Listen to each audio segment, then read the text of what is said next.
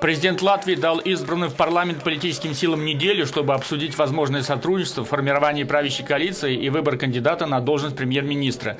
На выборах победила партия Согласия, представляющая интересы русскоязычных жителей, но в сумме ее противники из правящей коалиции набирают гораздо больше голосов.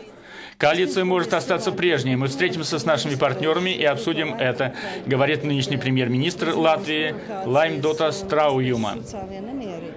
По словам президента Латвии, победа социал-демократической партии «Согласие» во главе с первым русским мэром Риги Нилом Ушаковым для него была ожидаемой. На выборах 2011 года «Согласие» также финишировало первым, но не сумело сформировать правящую коалицию.